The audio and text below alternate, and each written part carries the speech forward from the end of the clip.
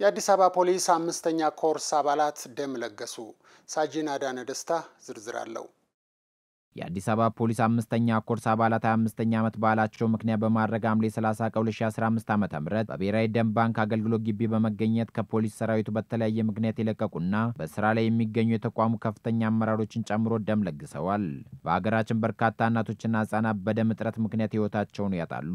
በአዲስ አበባ ፖሊስ የኦዲትና ኢንስፔክሽን ክፍል ምክትል ዳይሬክተር ኮማንደር አስጨናቂ አሰፋና በአዲስ አበባ ፖሊስ የህዝብ ግንኙነት ዳይሬክተር ኮማንደር ማርቆስ ታደሰ ፖሊስ በማህበራዊ ተግባራቶች እንዲሁም በበጎ ስራ ላይ በስፋት የተሳተፈ የሚገኝ ስለመሆኑ ገልጸዋል።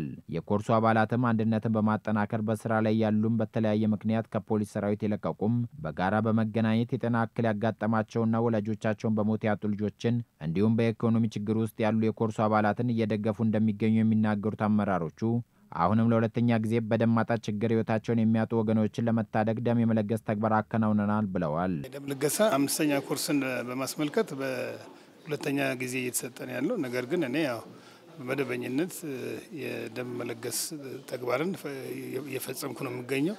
እንግዲህ ደም መለገስ ማለት ለሰው ልጅ ህይወት እንደ መስጠት ነው የሚቆጠረው። ምክንያቱም በርካታ እናቶች በወሊድ ምክንያት በደም እጦት ምክንያት የተለያዩ አደጋ የደረሰባቸውም ዜጎችን በደም እጦት ምክንያት ህይወታቸው ያልፋልና ይህንን ህይወት የመታደግ ተግባር ነው ዛሬ እየፈጸመን ያለ ነው። ፖሊስነት ለሌሎች ማሰብን የሚጠይቅ ተግባር ነው። ከምንሰራው መደበኛ የወንጀልና የትራፊክ አደጋ መከላከል ስራችን ባሻገር በተለያየ ምክንያት ጉዳት ላይ ያሉ ወገኖቻችንን በማሰብ ማድረግ የምንችለውን ነገር ማሰብ ይሄ የፖሊስነት ስብዕና ነው። በነገራችን ላይ ከዋናው ስራችን ባሻገር ማለት ነው። ይሄ ተግባር ተጠናክሮ መቀጠል መቻል አለበት። እኛ አሁን ዛሬ ሰጠን ማለት በሚቀጥለው ጊዜ አንመጣም ማለት አይደለም። በጣም የሚገርመው ግን በተለያየ ምክንያት ከፖሊስነት ወጥተው የራሳቸውን የግል ስራ የሚሰሙም ጭምር ፖሊስ ስለሆኑ ብቻ የፖሊስነት ደም ልባቸው ውስጥ ስላለ ብቻ የተደረገላቸውን ጥሪ ተቀብለው ከኛ ጋር ይኸው እንደምታየው ደም እየሰጡ ነው ያለው።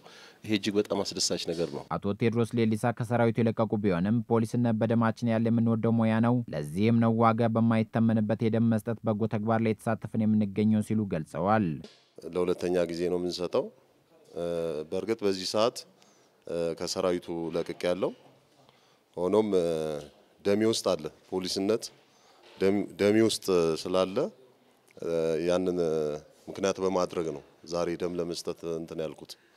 መቼም ምድር ላይ ከስጦታዎች ሁሉ በላይ ደም መስጠት ነው እና ውስጡ ያለውን እርካታ በቃላት ለመግለጽ በጣም ከባድ ነው። ፖሊስነት ለሌሎች መሰጠትና ማሰብን የመሳሰሉ መልካም ስብዕናን የተላበሱ ተግባራትን የሚገለጽበት ሙያ እንደመሆኑ መጠን ሌሎች አባላትን በተቻላቸው መጠን የእርስ በእርስ ግንኙነታቸውን በማጠናከር ከመደበኛ ስራቸው ባሻገር በበጎ ተግባራት ላይ በመሳተፍ ከወገኖቻቸው ጎን ሊቆሙ ይገባል።